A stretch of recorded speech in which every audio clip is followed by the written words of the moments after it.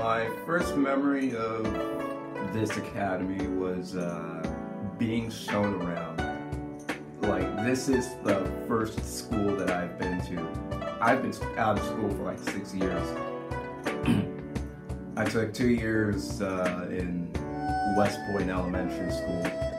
Then I uh, then I took up homeschooling with mom.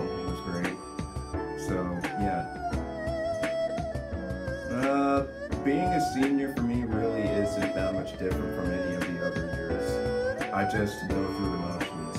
I do my work, and the only perk that I have now is that we go to the senior lounge. Uh, one of the things I'll miss most about Fayetteville Academy is probably, I don't know, the people here. I mean, some of the people I feel I'm genuinely gonna miss. Man, my advice to upcoming seniors, if possible, if you're not like me, try and make friends. It's going to make a lot, everything a lot easier.